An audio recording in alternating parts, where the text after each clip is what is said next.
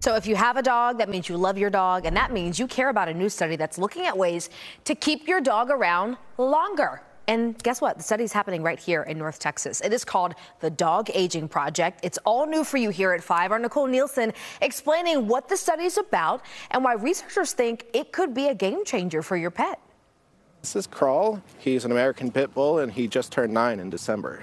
Ron and Kroll have an inseparable bond. He's uh, made me a, a better person, kind of kind of saved me a little bit. Adopted from a local shelter seven years ago, they do everything together, something many pet owners can relate to. So when Ron heard about the Dog Aging Project, he didn't hesitate to get involved. Thought, well, why not? I can just be a statistic and maybe help other dogs out in the future. The project, led by researchers at Texas A&M and the University of Washington, enrolls dogs of all breeds and backgrounds to gain a better understanding of aging.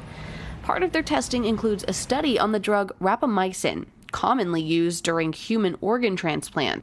Dr. Kate Creevy is co founder of the project and says previous studies suggest rapamycin may improve heart and cognitive function, mobility, and potentially extend their lifespan. Though the drug isn't a miracle. Yeah, so we're not talking dogs living forever here.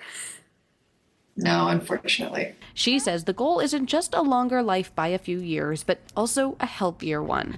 So far, 170 dogs are participating in the trial, and with a new $7 million federal grant, they're hoping to expand to 580 dogs.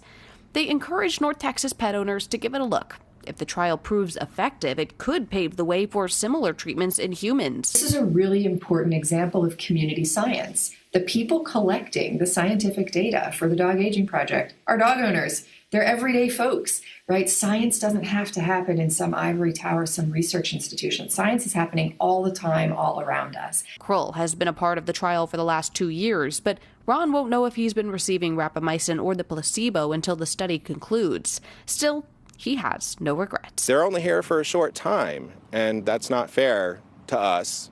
The longer they can stick around, the better. In Frisco, Nicole Nielsen, CBS News, Texas.